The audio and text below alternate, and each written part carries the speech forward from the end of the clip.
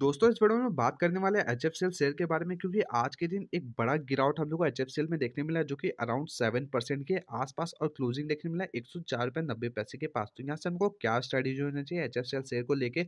ऊपर की तरफ़ हम लोग को मूव देखने मिलेगा या फिर नहीं मिलेगा या फिर एक नीचे की तरफ़ यहाँ से और गिरावट देखने मिल सकता है, बात करते हैं। स्टॉक का अगर प्रीवियस ट्रेंड देखेंगे नो डाउट स्टॉक एक हायर हाई टाइप का मोमेंटम बना के ऊपर की तरफ़ मूव दिखा रहा है। लेकिन देखेंगे, अगर अच्छे से आप नोटिस करेंगे तो स्टॉक हम लोग को एक रेंज में भी ट्रेड करते हुए दिख रहा है, जो कि स्टॉक का रेंज ये है। स्टॉक में मोमेंटम आता है करेक्शन आता है, फिर मोमेंटम आता है, फिर हम लोग को करेक्शन आते हुए दिख रहा है। तो मे भी हो सकता है कल के दिन स्टॉक एक दो रुपये नीचे की तरफ़ यहाँ से और फॉल दिखा है, फिर एक अच्छा लास्ट आवर में हम लोग को रिकवरी देखने मिला। लेकिन स्टिल किसी ने बाइक कर रखा तो आप सब लोग स्टॉप लॉस लाएँगे जो कि नाइन्टी रुपीज़ के पास होगा, जो कि लॉन्ग टर्म हिसाब से इन्वेस्ट कर रखे है तो और शॉर्ट टर्म के हिसाब से इन्वेस्ट कर रखा उनका stop loss around ninety eight rupees के आसपास होना चाहिए, क्योंकि मे भी हो सकता है स्टॉक थोड़ा सा वॉलिटिलिटी रहेगा तो आपका स्टॉप लॉस भी हिट हो सकता है। इसीलिए अगर लॉन्ग टर्म हिसाब से इन्वेस्ट कर रखे उन सबका स्टॉप लॉस अराउंड नब्बे रुपये के पास होना चाहिए। मूव कब एक्सपेक्ट करेंगे?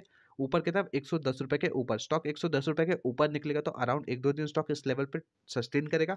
फिर एक ज़बरदस्त ऊपर की तरफ़ मूव दिखा सकता है, जो कि टारगेट एक्सपेक्ट कर सकता है स्टॉक में। शॉर्ट टर्म के हिसाब से एक सौ तीस से लेकर करीब एक सौ पचास रुपये तक का और लॉन्ग टर्म के हिसाब से स्टॉक हम लोग को दो सौ रुपये से ज़्यादा तक का भी मूव ऊपर की तरफ़ दिखा सकता है। तो कोई फ्रेश बाइंग करना करना चाहता है एच सेल में तो एटलीस्ट एक सौ दस रुपये का ब्रेकआउट का वेट करे। तब तक के लिए इतना इस वीडियो में। वीडियो वीडियो अच्छा लगे तो वीडियो को लाइक करें और चैनल को सब्सक्राइब करें।